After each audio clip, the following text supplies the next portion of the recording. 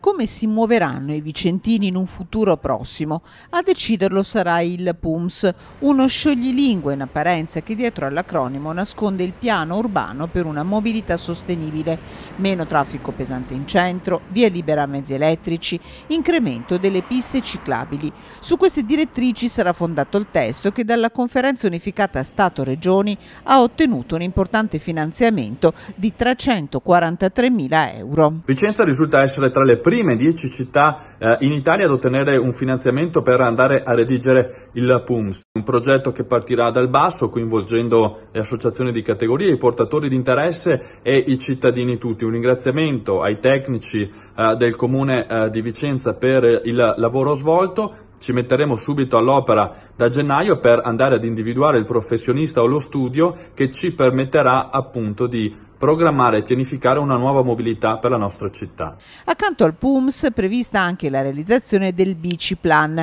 Ottenuti i fondi, il Comune è già al lavoro per l'incarico di progettazione.